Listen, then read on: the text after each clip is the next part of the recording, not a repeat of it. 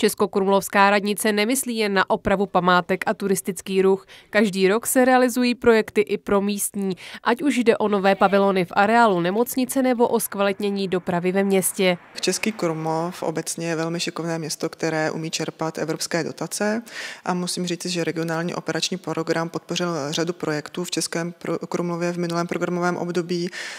Podpořil například právě i rekonstrukce a výstavbu nových autobusových zastávek. Cestující cestujícím se zpříjemnilo nejen čekání, ale také samotné nastupování do autobusu. Jak eh, vlastně úprava těch autobusových zastávek, tak eh, si myslím, že i samotné eh, to autobusové nádraží by mělo být právě přizpůsobeno bezbariérově. Je to jedna z hlavních podmínek při čerpání evropských dotací. Na to úspěšně navázal i projekt integrovaného regionálního operačního programu, který významně napomohl k modernizaci autobusového nádraží v Českém Krumlově. To bylo otevřeno letos v květnu. My jsme získali asi 42,5 milionů na dotaci na eh, rekonstrukci autobusového nádraží, což byl asi 20-letý problém města Českých Krumlov. Pořád upozorňovali občané na, na to, abychom eh, opravili autobusové nádraží. Dneska už je hotové je v perfektní kondici. Zde je velmi výrazně vidět, eh, když eh, je skvělý management a skvělé vedení eh,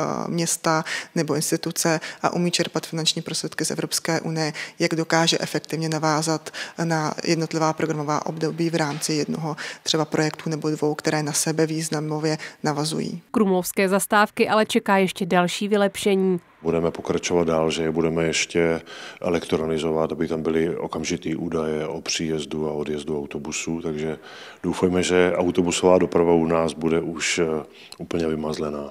Místní si především chválí opatření, která v dopravě radnice nedávno zavedla. Zhruba rok platí eh, omezení vjezdu do středu města. Eh, plánujeme ještě, že to ještě vylepšíme tím, že pravděpodobně na třech místech umístíme eh, mechanické zábrany, buď to budou kolíky, nebo to bude něco jiného. Díky modernizaci nádrží a zastávek došlo k omezení individuální dopravy, a to i díky projektu regionálního operačního programu Jeho Západ.